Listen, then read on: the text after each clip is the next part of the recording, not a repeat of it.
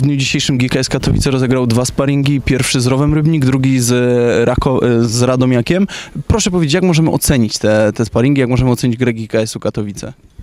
Na gorąco ocenić możemy na pewno źle, ale bo, bo wyniki są niesatysfakcjonujące i gra na pewno e, też nie była taka, jak, jaką zakładaliśmy przed meczem. E, mamy materiał, będziemy, będziemy to na pewno analizowali, ale, ale, ale dużo czasu nam nie zostało.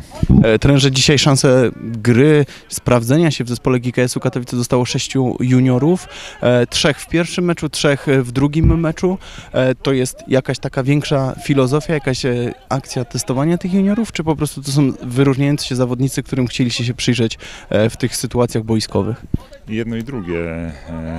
Był, był na to moment, żeby, żeby rozegrać dwa, dwa mecze sparingowe. Kadra jakby pierwszego zespołu nie jest aż tak liczna i skorzystaliśmy jak gdyby z wyróżniających się zawodników e, z grup młodzieżowych.